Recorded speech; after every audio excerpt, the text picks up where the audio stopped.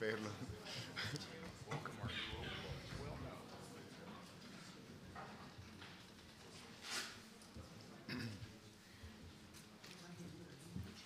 Your name is Hossein. That's the pronunciation. Yeah.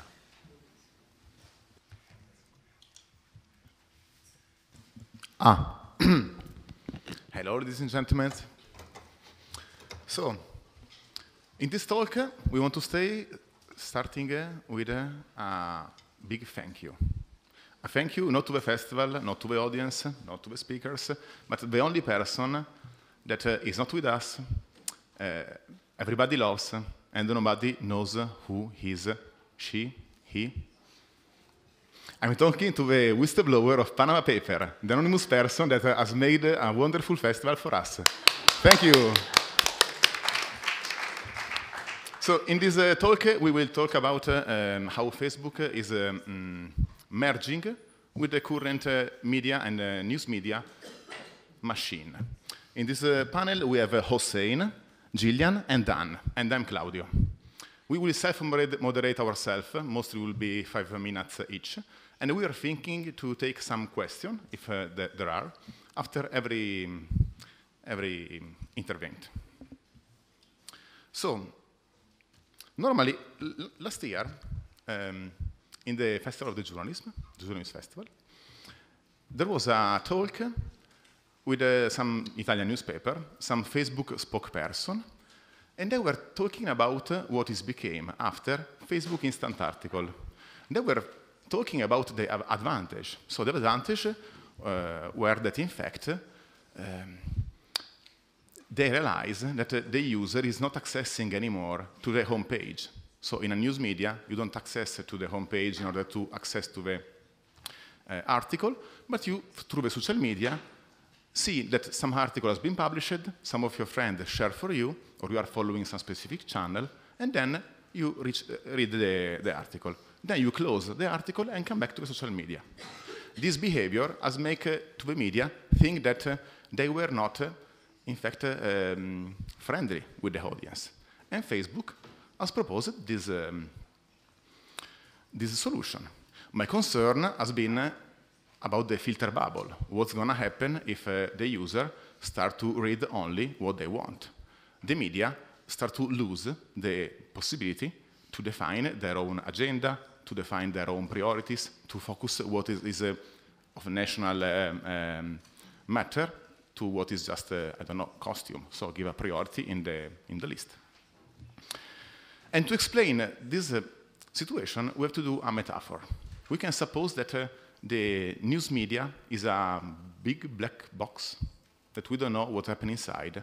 And this box is uh, teaching, updating, giving, giving news to all the population. This uh, news media machine has some properties, and are the properties that uh, you as journalists uh, have. For example, uh, is not censorable. Well, not everywhere, but in uh, many countries it's not censorable. Um, freedom of speech is protected, and uh, journalist uh, rights are uh, enforced. In other countries, this is not. For example, uh, one days ago, in this uh, table, uh, talks about Turkey and their situation uh, about uh, media censorship was uh, struggling and interesting. The second is that uh, the news are anonymous. So you can uh, reach a news because you are uh, listening a television or because you are reading a newspaper. And uh, you are not accountable of what you are learning. You are just a person learning something based on your own will. And the third one is that a media is accountable. So you know what a media is saying. If saying something wrong, if it's manipulating the reality, you, you know it not a media is objective. So you already start knowing that uh, all the media have some kind of agenda, but at least you know your uh, enemy or your friend. And then we have to talk about Facebook, what Facebook has done in uh, these uh, last 10 years. When we talk about Facebook, uh, it's just because uh, it's in the title of the, of the panel. Otherwise, we have to mention Google and Apple, because in this year, other two interesting products going to be launched. Exist Facebook Instant Article, Google Active Mobile Page, and uh, uh, Apple News. In both, we see a platform that want to feed the user with information. And we have not to think that uh, those companies represent uh, a person. When we think that uh, Facebook is spying on us, there is not a Mark Zuckerberg looking at us. There are algorithms that analyze metadata. So it's something that uh, has to be automatized and uh, is somehow more reliable in some, in some sense and uh, less natural in another sense. So it's also difficult to figure out where is the danger. And when we see, we come back to the metaphor of the black box, if we start to have um, a news machine influenced by these three companies, we stop to have uh, not censorable news. You know that, uh, as Jillian probably will mention, because uh, she's leading a project uh, about uh, monitoring the social network censorship, they can turn off some content or some channel and this discrimination is in the hand of three corporations that are not accountable, for example, by the law, uh, the, the, law uh, where I'm staying.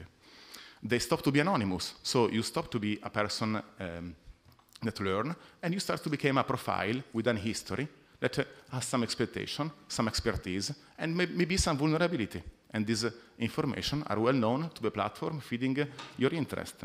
And the third, they are not accountable because if a newspaper manipulate the, the news, you know it, everybody knows it.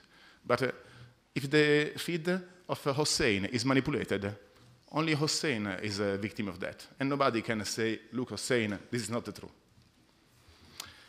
So I'm taking a little more time, I'm sorry. We have to see that uh, the current situation is not uh, out of the blue. It's not something happening uh, only in this year. This is a, a, path that started 10 years ago. And I want to just um, identify the first behavior of Facebook as a, a, platform having some space where the user stay inside and Facebook start to know this, um, this person, start to know uh, the, the user and to monitor them, make them happy. Second, when Facebook or Google, they start with Google Analytics or the like button inside of the other web pages. So you go in a web media, you see an article, and then the like on Facebook button. What is happening in the technical side is that uh, your browser is performing two connections. The first one is to the media, Repubblica, Il Corriere, New York Times. The second one is automatical and is a connection to Facebook server. In this connection, there are written what you're, are you reading. In the moment you click on another link and you stay in the news media, you choose an, an article, Facebook is updated. Now this user is went here. And that is when Facebook stopped to study only the user in uh, uh, its own platform, but start to study also the user in the other platform. The third stage has been when Facebook start to do an active manipulation of the user. So three years ago, uh, influenced the user mood, the user um, feelings, just making negative or positive um, visualization. And that has been a quite uh, outraging uh, result, but that is part of uh, stop to be passive, stop to monitor what the users are doing, and start to influence them. Now, I guess that the, third, the fourth stage will be when uh, Facebook will start to influence the user of other platform. But this is not possible until the platform do not migrate on Facebook. And this is what is happening. Facebook Instant Article is that when the content producer of the news start to use Facebook, an untrustworthy, an un untrustworthy platform that can effectively manipulate the perception of the citizen that are learning what's going on in the real world. So, I start to say that uh, we are um, glad about uh, a whistleblower in um, Fonseca.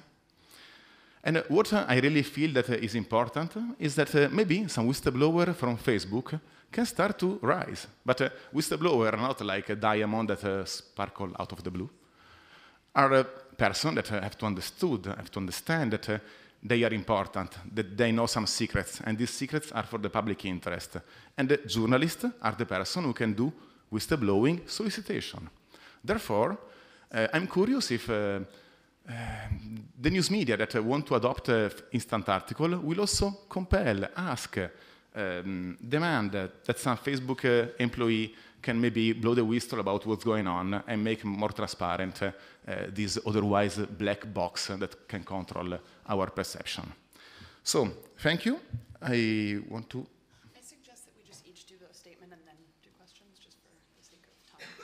Ah, questions at the end. Yeah, okay. okay, happily. Is this on? Did I Get it right? Yes, perfect. Hi. Um, so I'm Jillian York. I'm the Director for International Freedom of Expression at the Electronic Frontier Foundation, or EFF, a US-based organization. Um, and a lot of the work that I do looks at how social networks are creating a standard, a global standard for speech, um, and how they are censoring us. Um, my project, onlinecensorship.org, launched a few months ago, and we just released our first report looking mostly at Twitter and Facebook um, and the ways in which they've restricted users and the impact that that has on users. So I encourage you to look at it. So what I'm going to say on this subject is essentially that. Um, I am not focused so much on the ways in which platforms are uh, incorporating news, but rather the ways in which these platforms' rules and regulations will affect journalism.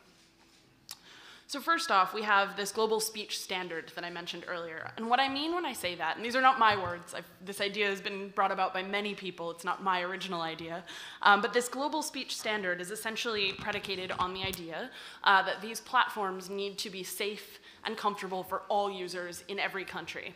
In some ways, we can see that this might be a positive thing. For example, Twitter uh, cracking down on harassment and trying to make sure that women feel comfortable on the platform. Um, I'm not saying it's been implemented well, but we all understand that this idea might be positive. On the other side of that, though, you have things like Facebook's policy against nudity or against real names. And these policies, I think, have an outsized impact on culture. Um, so to take the nudity policy, for example, Facebook bans nudity, and let me just read this to you because I think this is really important. Uh, they ban most types of nudity under the grounds that some users may be sensitive to this type of content, particularly because of their cultural background or age. So when they say that, they're thinking of young people, elderly people, uh, people from Saudi Arabia. I don't know what they're talking about, um, but they want to make sure that everyone feels comfortable, and therefore we have to be, you know, very uh, American and very parochial about the human body. Um, I think that this is a sexist policy. And so I experienced this a couple weeks ago. I got banned from Facebook for 24 hours um, for posting uh, a German breast cancer campaign. The campaign was meant to educate users about, or educate people, women, people about breast cancer, um, but instead Facebook felt that the uh, image of a breast was just too much and that they had to take that down. Um, and so how does this impact journalism? Well, if Facebook or Apple or whomever, whichever corporate you know, whichever corporation we're talking about, is making the rules on what can be published, then rather than the traditional gatekeeper of the editor, the newspaper, we're going to have a gatekeeper that is above the law. In fact, I would say beyond or outside the law.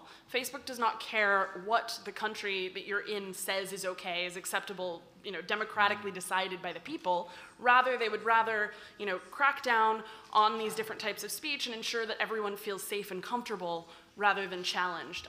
I don't think that that's a good space for journalism to exist in. I think that if we're, you know, if we're putting journalism in this, in this comfortable, safe space, then we're not going to be challenging power. And we've seen this from Facebook. We've seen them, uh, WikiLeaks tweeted a couple weeks ago that they'd blocked the link to the Hillary Clinton email archive. Um, we don't know why they did that. I think it's been since reversed. But this is a regular occurrence on this platform. How can we trust them to be the gatekeepers of the media?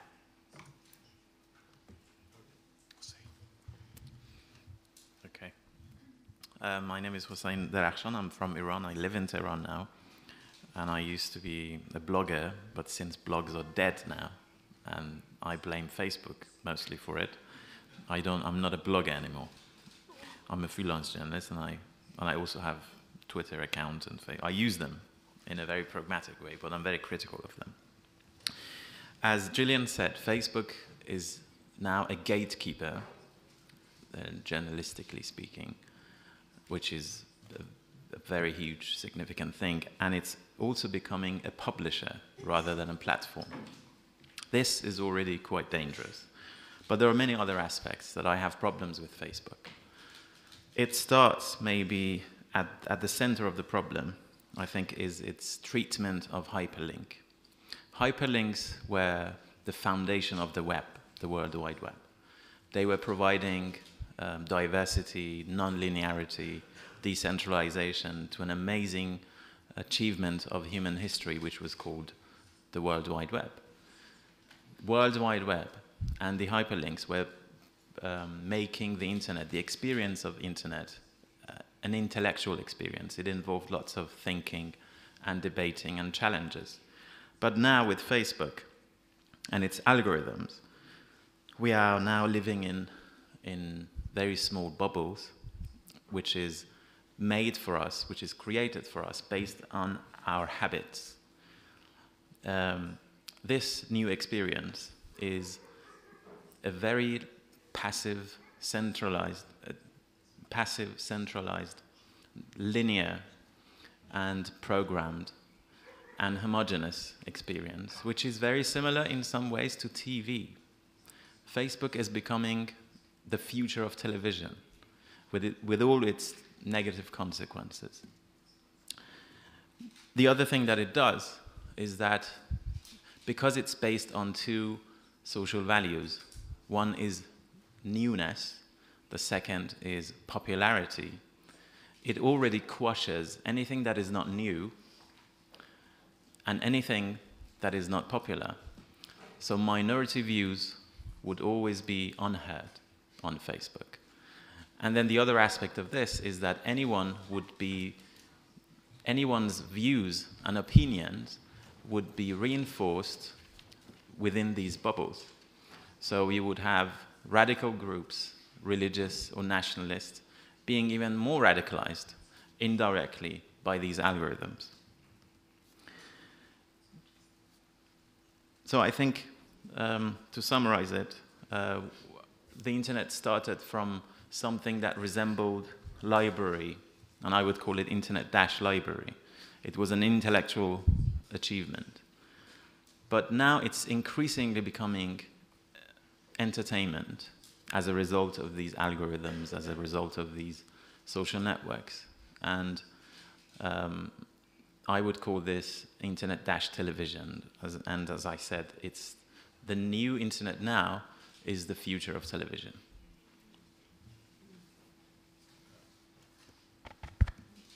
Is this on? Yes? You can hear me? Oh, good. Uh, first thing I want to do is thank the organizers, the amazing volunteers. I see Chris Potter. Uh, Chris Potter.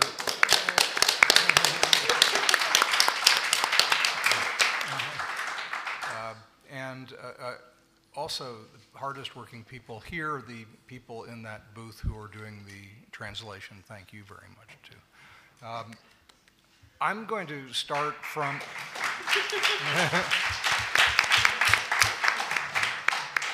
I just used up half of my time, I think. Yep. Uh, I'm, I'm going to start from uh, the point of view that sort of what they said, I uh, buy all of it. I'm, I think it's important that we keep saying it.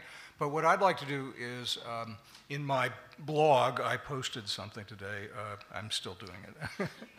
uh, You're a rare breed. About what, what, I'm, what I want to talk about is, okay, we have a problem. Now, what do we do about it beyond saying what the problem is? And I have a few proposals. Uh, this is a, I've made a fairly rough draft of where I'm going with it because I think we've got to get going and, and uh, do things.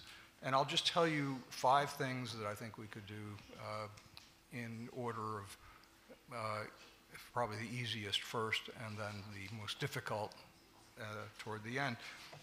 And I say this with great admiration in many ways for Facebook as a technical achievement, as entrepreneurial genius, as uh, you know, extraordinary things.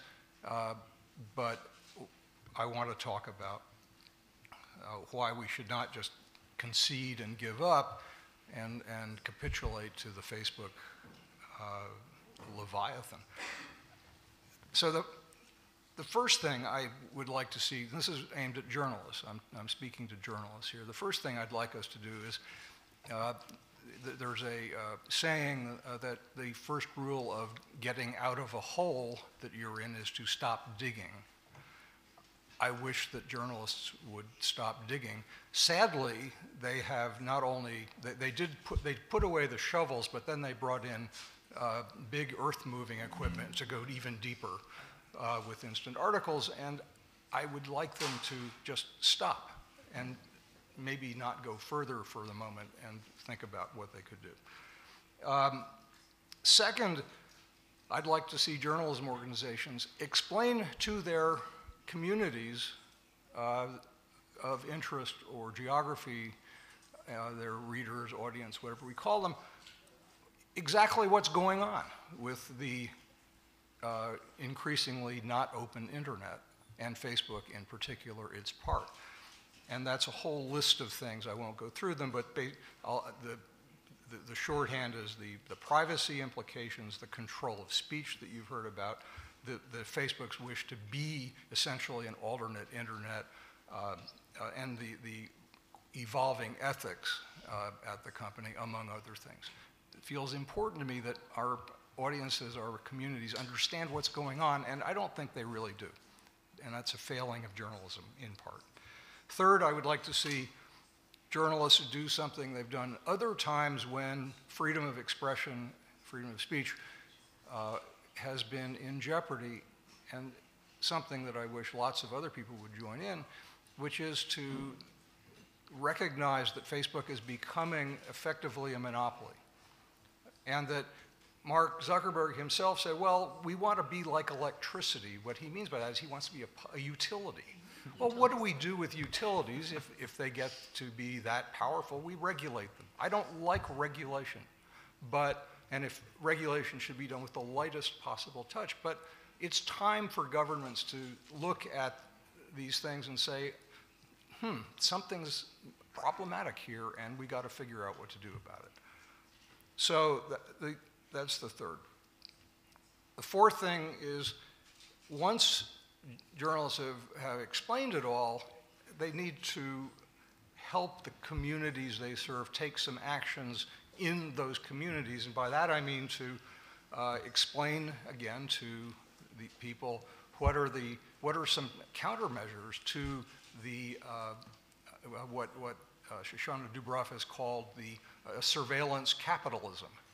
What, are, what can we do to block some of this stuff and, and free ourselves from something that's really quite pernicious? Uh, what, how can we use encryption? How can we uh, do things that will help us uh, get past this. How can we campaign? Okay, I'm sorry. How can we campaign uh, ourselves for change uh, in our communities, local, state, federal, global, to think about uh, getting to people who can make political decisions and encouraging them to make ones we believe are the right ones. Finally, and the, I'm at the hardest one, which is I think journalists need to uh, be thinking about first, but then actively finding ways to move out of the closed ecosystems that are being created and back into an open internet that cannot be locked down. And that means I, don't, I do not expect journalists to build this because they're not competent to do it.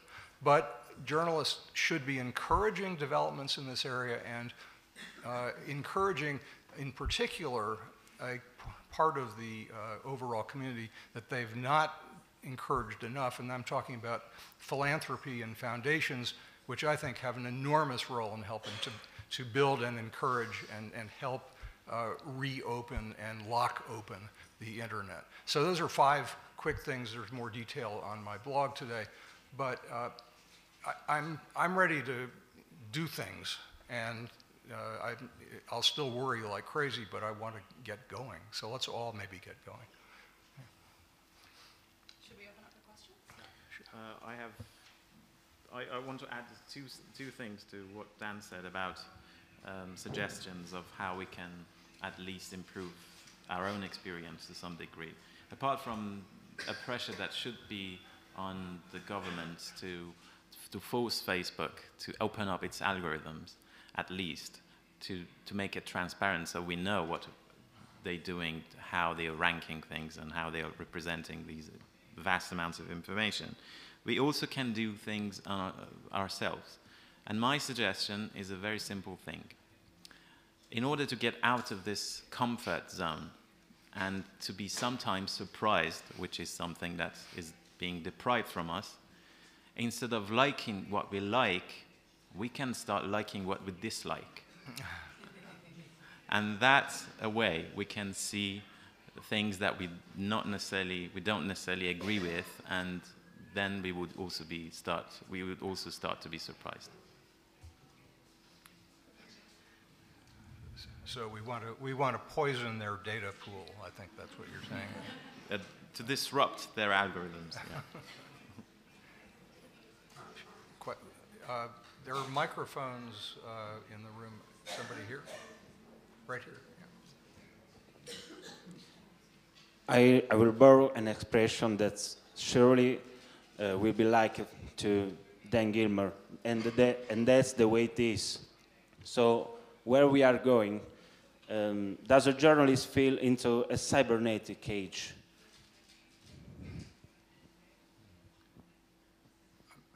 I didn't quite get it. I, apologize, I didn't quite understand the question. Could you? Sorry? I didn't fully understand the question, I'm Um, sorry. I borrowed an expression of Walter Cronkite, and, and that's the way it is. Does a journalist could feel himself caged in cybernetic world now? But due to extremely increasing power of uh, incorporating like Apple, Facebook, Google. Absolutely right. I, I, I don't want to see a return to uh, a few enormous enterprises, and it's not solely Facebook. The telecom carriers are quite alarming in their own way. There's lots of players here, and governments applying enormous pressure. But uh, when I, you know, I, re- I revere Walter Cronkite for having been a great journalist and for doing a lot of wonderful things. But when he said, and that's the news, well, it was only part of it. And we, uh, the opportunity to get much more nuance and depth on things we're, that we care about has, is, that's what the internet has brought us. Uh, and I think we have to, you know, pursue that, and there are lots of ways to do it, but that uh, I, I, I'm, I'm terrified that Facebook could end up picking the winners in journalism. I, I don't want to, you know, I'm quite sure I won't be one of them. And uh, most of the people in here uh, probably won't be in the organizations that are picked. So we have, you know, let's, let's, let's escape from that cage. Yeah, I'd like to add as well. I mean, Hossein said something. Um, I wrote it down. Where is it? The well, the thing about I used to be a blogger. Blogs are dead. I blame Facebook. I mean, uh, Facebook and Twitter and et cetera, et cetera, from my perspective. Um, but I think one of the interesting about things about that is okay. So Facebook and these social media platforms have made us bloggers into freelance journalists, and I would agree with that statement. But it, they've also made everyone into a public figure in a way that is very strange and encouraged us to have these pithy thoughts, um, post these, you know, bits. I mean, I, am not joking when I, you know, I look in the Instagram feed and whatever, and it is really all food pictures um, from, you know, maybe I'm following the wrong people, but I think it's created this sort of culture of, of oversharing that, you know, I'm, I'm not here to criticize that, that is what it is, but at the same time, um, we're, you know, I, I, was talking, chatting with somebody in this room at lunch earlier about, uh, about how it's kind of you know created this this expectation that every time you say something on one of these platforms you could become the news that journalists go after quotes and and you know find these quotes from Facebook or from Twitter and post them often without permission. Um, and I think that you know that shift in journalism is not necessarily a good thing. Now going back to having you know Facebook as the central platform I think that we're, we're just kind of watching the machine eat itself. Um, and I, I don't know it worries me couple of questions uh, here and there. Who has the microphone? She is. Oh, right in front of us. Go ahead. Yeah, yeah. Thanks very much. Helen Darbishire from Access Info Europe. Um, thanks for the panel. Um, you've identified a couple of key concerns the, the question of the algorithms, which um, feed us what we will actually see, and the questions of censorship. And it seems to me we're living in this very fast moving situation which has blown out of the water the current structure that we've had for protecting freedom of expression um, and for ensuring plurality and diversity in the content that we receive, or allowing us as, as citizens, as consumers, to know where it's coming from and how it's being selected.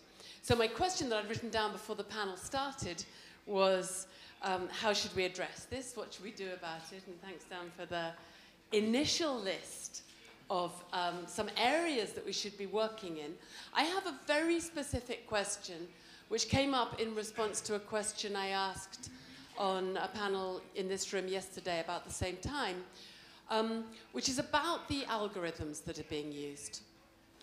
And there was a little discussion about transparency of the algorithms, and then somebody said, well, you know, these are the, the, the business model and they're trade secrets and they should be protected. So my question, I'd really like to know from each of you as the panelists, do you think that that is the case? Is it a bit like, I'm trying to think of a sort of simile, is it a bit like the, the, the recipe for Coca-Cola? We don't know the exact recipe, but we are, we are able to know how much sugar there is in Coca-Cola at least, and how much caffeine. Or do you think there's an actual public interest in us knowing a lot more than that? And if so, how should we precisely, specifically start campaigning to get those algorithms made public? And do you think that that's really possible? And projections on the time frame in which we might achieve that? Thank you. It's a great question. well, I will cover just uh, one section of uh, this question. Mm. The secret receipt. I, this idea started uh, when uh, Google start to say, we're going to use a much more indicator to create uh, your answer on the search engine, because otherwise uh, website pollute our results, and they put themselves on top.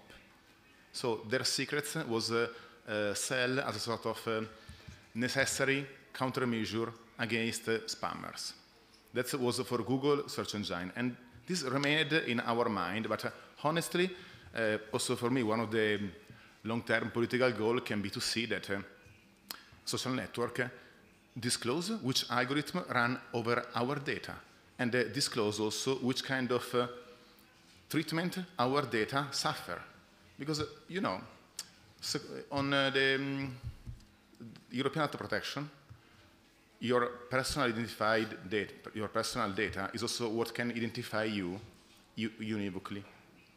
So my name, uh, my DNA, etc., there for sure. But uh, my profile is something that, uh, if associated to me, is a personal data. If I've not associated instead uh, behavior to something uh, that can be linked to me, that is not a personal data. So what I want to say, when they elaborate our, the data that are given to Facebook, they can start to anonymize this data. When a data is anonymized, became not covered anymore by the law. So my concern is to know how this data get anonymized. They can be anonymized in a second time. We don't know. But if we make this process transparent, we can start to raise this question. So algorithm transparency, open data about the metadata collected, uh, yeah, because, you know, having a single place that contains metadata of all the population cannot be a so bad thing. It can be also an asset for a municipality to understand how the person are moving or how a new generation is uh, changing their mindset in order to uh, update the public uh, things to, to cover these needs. So it can be a, a, possibility for the society, but it cannot be an asset of Facebook and Google and Apple. And just to come back to the asset topic, I guess are not the algorithm, the secret receipt, is the monopoly, is the network. The value of WhatsApp was because was the monopolist of the mobile instant messaging. And the value of YouTube years ago, that has been one of the biggest banks for that time, was because was the monopolist of the online video. So at the moment, Facebook has three monopoly, social network, uh, image sharing with Instagram, and uh, instant messaging with Facebook. So, and WhatsApp, that, uh, by the way, despite uh, is uh, encrypted, well, sorry, this would be a really long topic. Uh, yeah, do you want to? You, no? Okay, uh, mine's quick. Um, I'm not much of a capitalist, so you're not going to find me defending trade secrets anytime soon. Um, in any circumstances. However, um, I think to get to the what should we do about it, that's, you know, and I, I also am not really in a position to be calling for regulation as well. So I think that ultimately what it comes down to is, you know, the project that I'm working on um, that I mentioned earlier, online censorship, we, the reason that we exist, um, and this is more about censorship than algorithms, but I'll get there.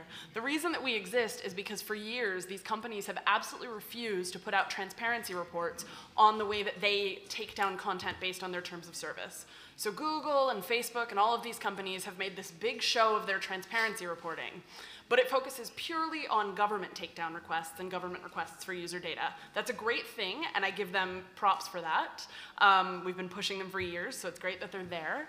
Um, but uh, they've, you know, obfuscated on the question of what constitutes hate speech, what constitutes terrorism, and we know now from my project and from other projects that are coming out um, that what constitutes terrorism on Facebook is sometimes actually statements against terrorism. What constitutes hate speech is sometimes comments like fuck America.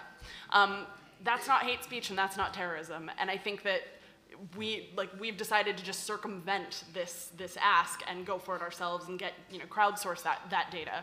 So please come to me if you ever get stuff taken down. I want to see what you're getting.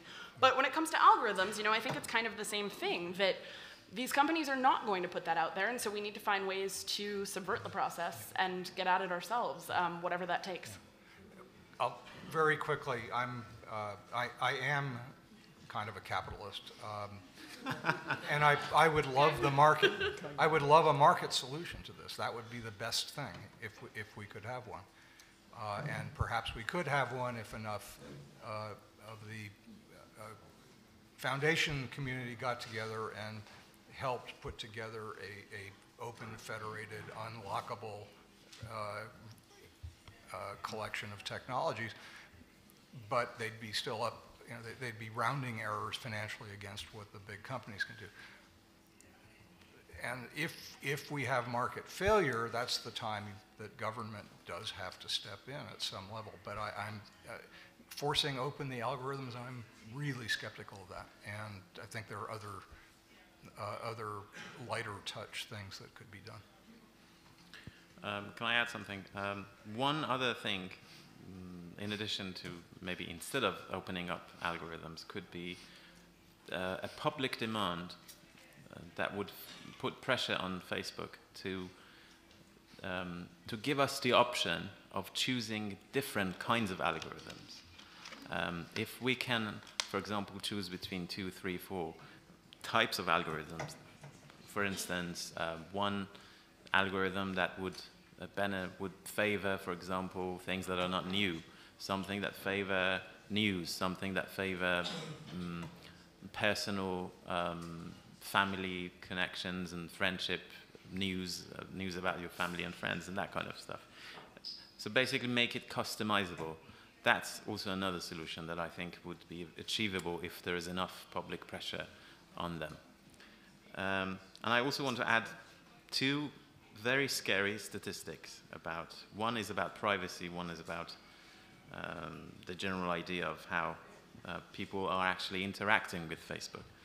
Facebook can know us based on a study, recent study last year.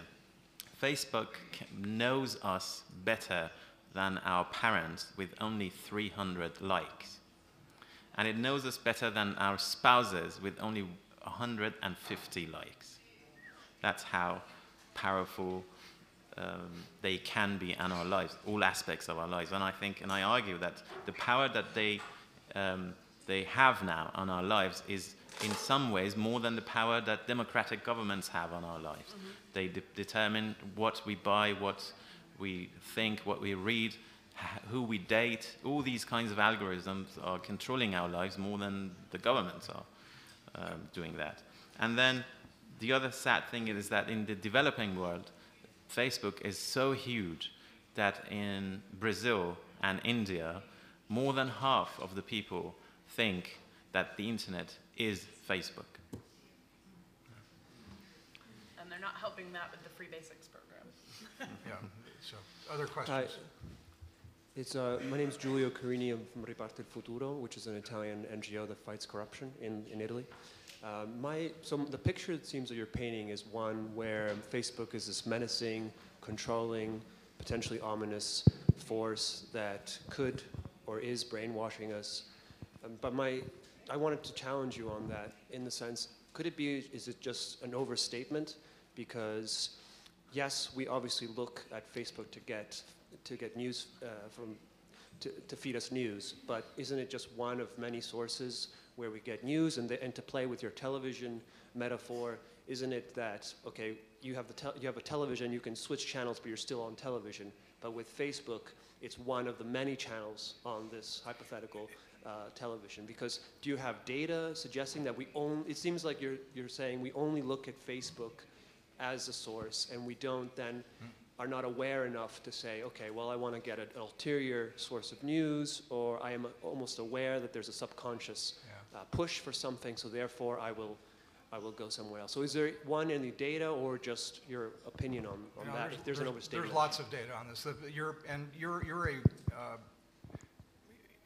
you are someone who uses the internet uh, in uh, broader and more nuanced ways than a lot of us do. And ask news organizations where their traffic comes from, and uh, it's overwhelmingly now heading toward Facebook, coming from Facebook. It, in, uh, it, it's now something they, uh, they've recognized it, that uh, read Emily Bell's wonderful piece called Facebook is Eating Journalism or something like that. Um, uh, Emily has, uh, is someone to pay attention to, having, you know, she ran electronic uh, for The Guardian. She's uh, now a very important scholar in this area. And her point is, I, I, don't agree with her solutions particularly, but I think Emily has identified that issue. And we are speaking more about journalism here. I, I recognize Facebook as a wonderful service for certain kinds of things, mm-hmm. people staying in touch with friends and family. It's great for that. I don't happen to use it for that. But I'm in, in, you know, in a minority, and it's getting harder and harder to opt out.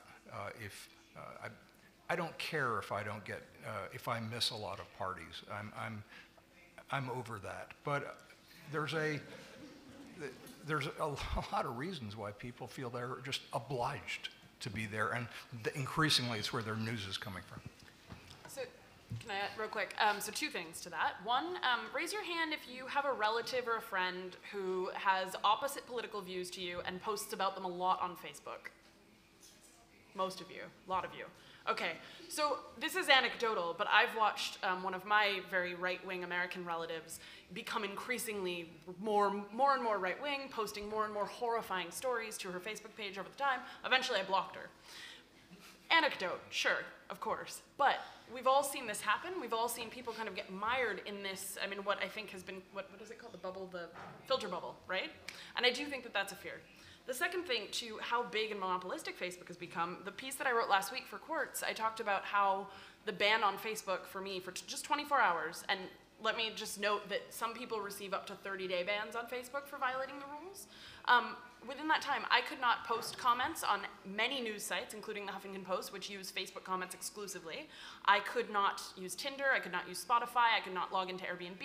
I could not um, administer pages that I use for work. Mm-hmm. Facebook, you can't opt out. I mean, you can, but you're going to be, as you know, sometimes it's about getting the invitations to the parties, but. Opting out, it was, there, uh, it's not opting out. You never opt out because it's obviously now so much social pressure Well, then, I, Oh, sorry. you've just I, I meant saying not opt. I was sorry. Um, I was saying that I didn't mean to say you can opt out that you- because obviously that's impossible nowadays. But it's not like opting out, for instance, television. We just shut it off. There are other sources of news that you can uh, you, you, can, you can find information, and you know, it's not just Facebook. and even if I, I- go on Facebook yeah. in the morning, which I do, then I'll go on, ano- on, on a, you know, 20 other news sites to look so at will stuff. I. So will I. You're but my aunt- unusual. but the, the relative that I mentioned, and that's why I brought up that anecdote. The relative that I mentioned does not. She clearly gets all of her news from Facebook and is becoming increasingly right wing. And again, it's an anecdote, but I think we've all seen this happen. And I would say that you and I and the folks in this room are probably better news consumers than the average person. You have to think as a systemic problem. So now we are addressing not something that uh, is a totalitarianism and uh, will take over our life 100% tomorrow. Just a matter of percentage. So it's truth that uh, the top 100 websites in Italy contain, for the 90% of the time, Google Analytics. This means that 90% of your behavior quite likely is monitored. Also, if you say, well, I'm not using Google, I'm using DuckDuckGo, or so it's a matter of a systemic uh, tendency, and uh, the news media is the fourth estate.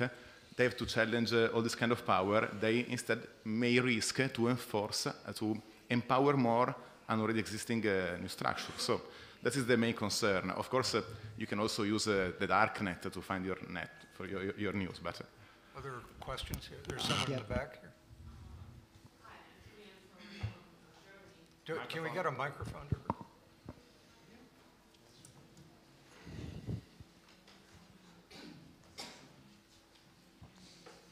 Thank you.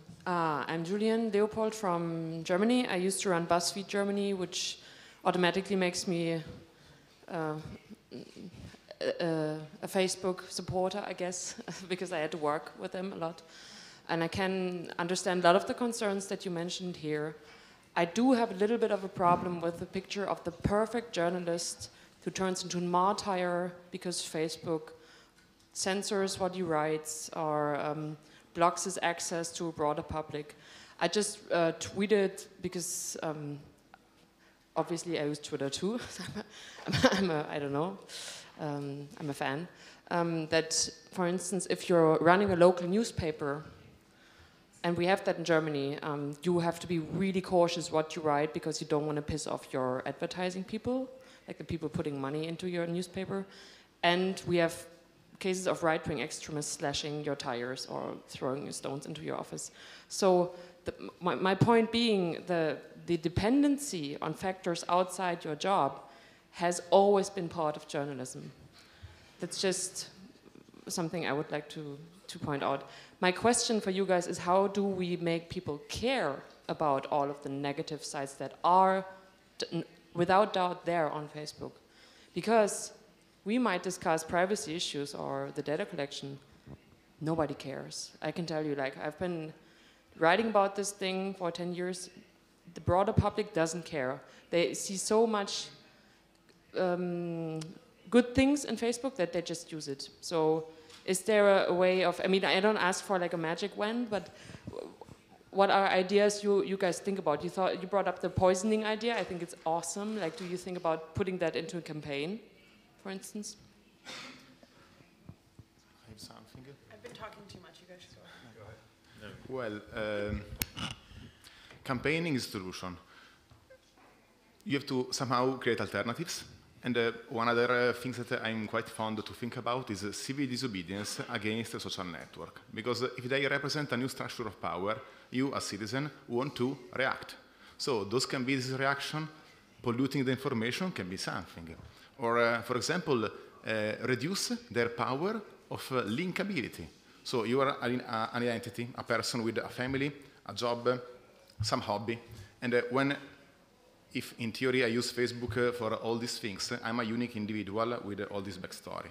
If instead I use four different browsers, there are simpler way to do it, and for different identity, and in every identity I express just something, and I've only the, the reduced amount of uh, friends I need. I'm creating, I'm using the benefit of Facebook without all the mm, all the problem uh, deriving. I can use uh, add-on like uh, Facebook Purity. FB Purity is the name. Is an ad blocker in the sense that uh, reduce the, the advertising on Facebook page. Also, ignore the algorithm of the um, of Facebook. Show to you the chronological order of the post instead of the algorithm that uh, otherwise can manipulate you. and add also other feature. So this kind of technical solution can be integrated with a cam campaign.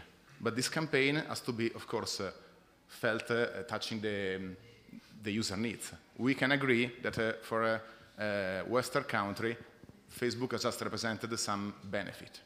Now we have to wonder if we are creating a global monopoly, if uh, this uh, um, peaceful status can uh, remain, remain forever, or if we are not just creating the next entity able to selectively decide who is the next victim and who is not, because that is the, is the real concern in the long term. Uh, and that is why we are raising this point. But uh, currently, for us, uh, we don't feel this kind of risk. Um, sorry.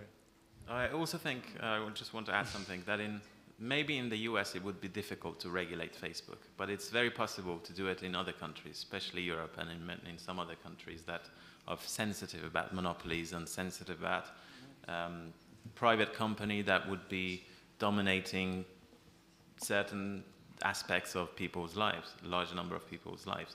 So I think it's um, worth um, looking into and exploring the possibility of bringing, uh, proposing legislation in parliaments in many, many, uh, many European states, for example, to regulate Facebook, to open it up, to, to make it more transparent. Um, and one thing that I want to add about hyperlinks is that um, the way Facebook allows you to put hyperlinks, but it treats them as objects, not as relationships. It showcases them, it frames them in a very nice, mm, good looking way, and it deprives the hyperlink from its power of, from its um, nonlinear power, from its um, informative power that would relate you to different kinds of texts outside itself. What they try to do now, and you see that in Instagram, which doesn't even allow links at all, is that they want to keep you inside them as, as long as possible. And this is contributing a lot to their monopoly on the time that, and, the, and the attention that people are giving to, to them. Um, and just want to add something finally that I've written a long essay about these aspects. Um, it's called The Web We Have to Save in English, and it was also translated into many languages, including Italian, and it was published by Corriere della Sera. You, you can see the, the arguments expanded. Who has the microphone? The last question? Yes, uh, Giuseppe Mazziotti. I'm a law professor, Trinity College Dublin. I also uh, I'm an advisor about media-related issues. Let me start by saying I don't agree with the speaker who said that Europe has higher chances to use antitrust to face uh, this kind of power by Facebook. I think the US is much better in this respect. Traditionally, it has been much stronger. What Europe does is tackling abuses of dominant position that are more difficult to prove, as you as you might remember from what Europe did. So I disagree from a technical perspective about what you said. Um, I was surprised by the fact that you know there was no uh, no one from Facebook in this panel. It would have been just fun to have someone from them. We invited. them. Yeah, I, am sure. I'm sure. And it was it was surprising to see uh, a couple of hours ago uh, a panel uh, where Google guys presented the Google Di Digital News uh, Initiative you know, Google is regarded uh, by the publishing industry, by the newspaper industry, as the enterprise that killed your industry. It's killing journalism in economic terms. So I would have found uh, suitable to put these two panels together in order to, uh, to face an issue from both an economic and a content-related perspective. Because you are targeting the, the problem from a content-related perspective, saying Facebook is censoring what we do, right? Um, what I'm very skeptical about, since uh, uh, Facebook is a proprietary platform, you cannot really uh, enforce certain values within a proprietary platform unless you use certain legal tools, the most important of which is certainly antitrust. But when you consider how pervasive uh, the enforcement of terms and conditions by Facebook uh, is, and when you consider um, how little as someone said, the, the journalist from Germany, is the awareness of the users of Facebook about the binding force of these terms. You understand that this, this kind of environment is, how can I say, is hopeless. Unless you want the states to undertake uh, a, a, an approach that would be regarded as excessively intrusive and would actually give other governments last comment, which is that it took some years for us to get in the situation we're in. Uh, we're not going to get out of it quickly if we ever do. And all I'm asking is that we try and that we start like now. So uh, thank you all very much for coming.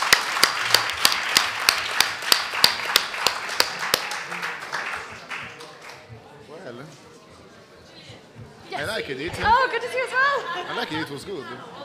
It was very good. Yeah.